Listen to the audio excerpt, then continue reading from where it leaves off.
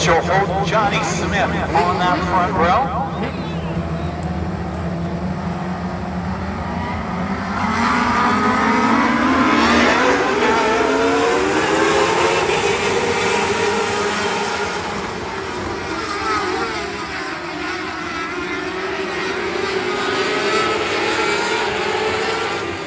He was happy with the results after that heat win, and they thought they would be a threat tonight. Were glad to be back at the racetrack.